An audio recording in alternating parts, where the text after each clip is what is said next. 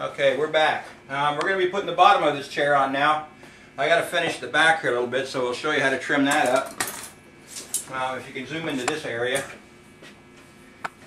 What you want to do is you want to make your cut onto this leg. You want to come a little bit on an angle, and you want to come up to the wood.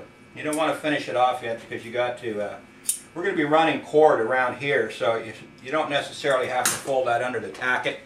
Just going to make a bigger bubble if you do. So what we're going to do is we're going to take it around here, put the fabric where we want it to be. I'll bring a little more fabric over here. Fold that under and take this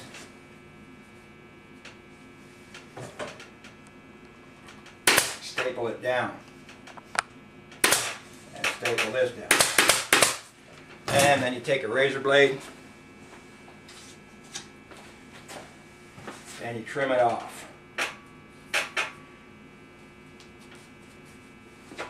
And you have a nice clean finish right around there to run your, your uh, cording around come over there and finish off that side.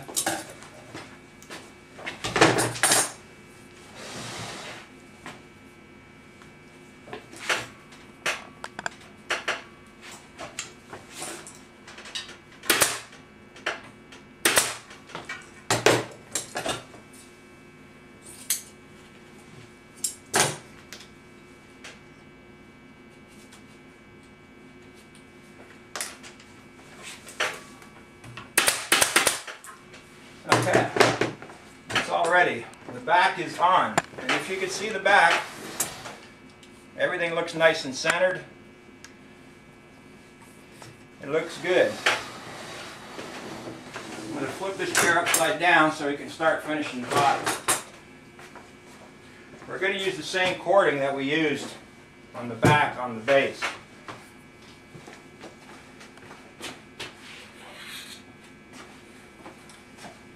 And you have to start it off the same way. Keep your sewing edge down towards the frame. Always start at the back of your chair. And always do the same. Run your finger, if you can see I'm holding my fingers. You follow it along the edge of the frame and leave that loose. We'll take care of that when we get there. Now when you get around the arm, you got this lip on here that you can't have. So you have to cut it back. So what you do is cut it in right where it is at the leg and then trim it around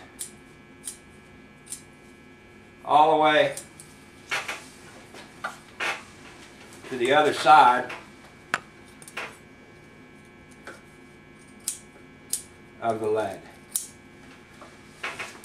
And then you're going to have to put some hot glue in there, which we also uh, carry on the uh, website.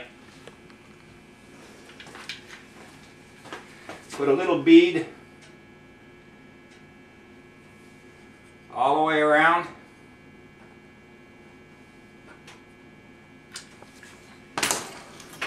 Pull it snug, lay it on there, and press it down with your finger.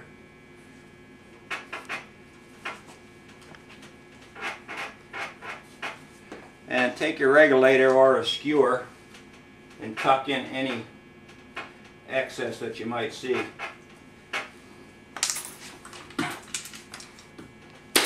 And then staple your remaining trim down. Okay.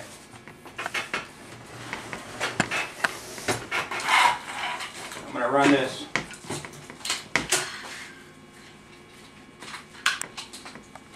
Give me a second here, I'm a little bit tangled up.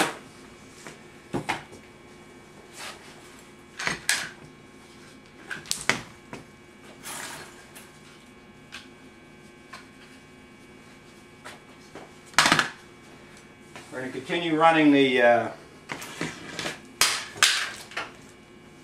I'm going to continue running this the trim along here the same way I described, described to you on the outside back.